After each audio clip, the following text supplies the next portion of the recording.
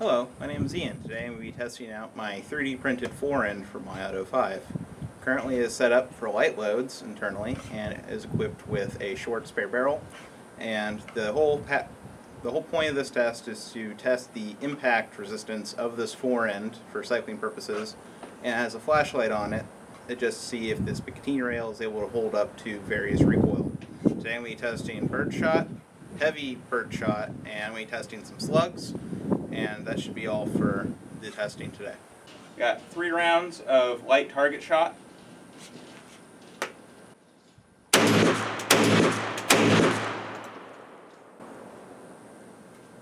They all function just fine.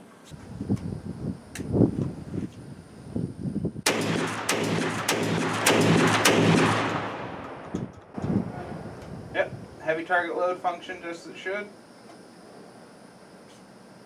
Horn still feels like it's intact. Last test, we got slugs. These should be a little bit less power than the uh, game load birdshot I just fired. So this should work just fine.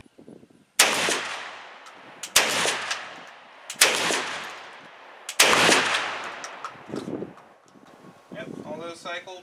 Forearm is still on there tight. I don't feel any cracking. Flashlight's still on there. Let's say this is a win.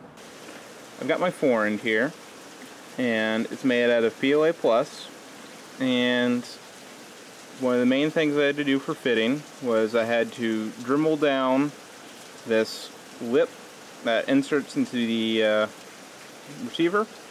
That's what the wooden handguards usually have a failure is, is the plywood that is inserted here in a little ring is usually cracked from the forearms not being tightened down enough.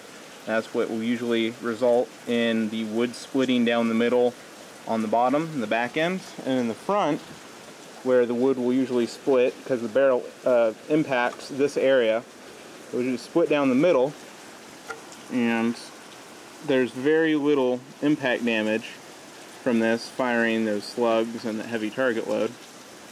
My detent still ready, and retained, and it's not letting fly out and that's just again a little polished roofing nail that I rounded down with some sandpaper and some files and that works just fine. And my old Picatinny rail that is also printed into this held on and this isn't a 100% infill. This is seven walls with 30% infill in uh, cubic subdivision so this is still a hollow part.